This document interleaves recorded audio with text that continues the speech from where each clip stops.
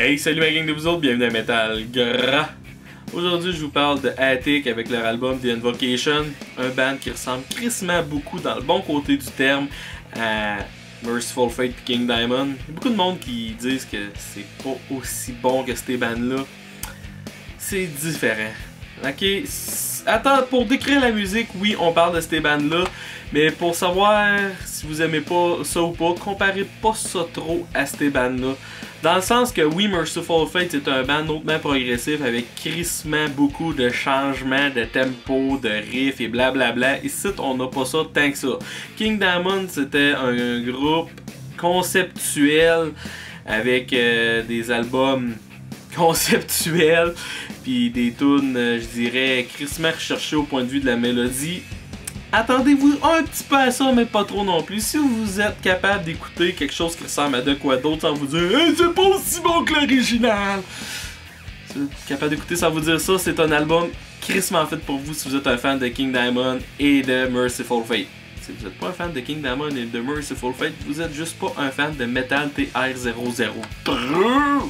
Bref, on a un Chris de bon album pour ma part parce que, premièrement, est-ce que je suis un fan de ce genre de vocal-là? Quand le chanteur monte haut, ça m'aide, peu importe le type de musique, à aimer ça. Euh, puis pour la musique, oui, ça ressemble plus à King Diamond que Merciful Fate, mais encore là, je dirais que c'est un peu leur chose. Il y a des petites influences black metal, il y a du riffage trash qu'on retrouverait pas vraiment dans aucun de Merciful Fate et King Diamond. On a des belles harmonies de guitare, on a une atmosphère vraiment menaçante, des tonnes à faire lever le poil. Bref, j'ai adoré en tabarnak. L'album commence avec The Hidden Grave qui est une intro que tu peux skipper pour arriver à Funeral in the Woods. Mes notes. Pour la tune j'ai écrit menaçante, aiguë, bon riff, chanteur qui monte plus haut que ta mère qui se pète le petit orteil, refrain accrocheur, quoi demander de plus? Toutes les tunes de cet album-là ont ce genre de commentaires-là. Join the Cover. Join the Coven, euh, c'est. J'avais écrit encore quelque chose d'accrocheur.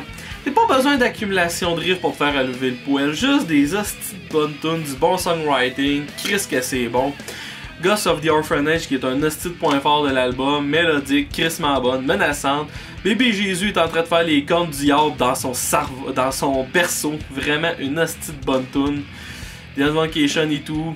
T'as Evil Inheritance qui a des bouts clean dans le milieu avant de virer trash puis t'exploses dans la face puis quand t'as fini t'essuyer la face de toute la purée, elle te revient d'en face un autre fouet.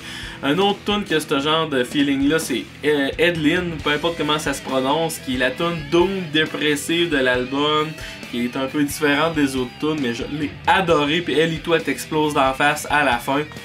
Le seul point faible, puis je mets des guillemets, c'est The Headless Horseman de par la qualité des riffs, mais encore là, elle est crissement bonne pareil. Fuck ta mère, c'est une, une bonne tune, pareil. C'est un album avec zéro point faible.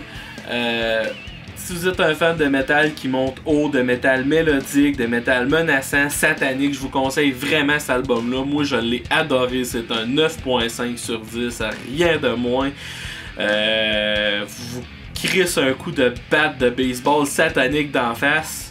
Si jamais ça peut dire quelque chose. Bref, je pense qu'il va juste être temps que je fasse un zoom sur ma grosse face. Merci d'avoir écouté. N'oubliez pas de vous abonner à la chaîne YouTube et à la page Facebook si vous voulez vous tenir au courant de tout ce que je fais.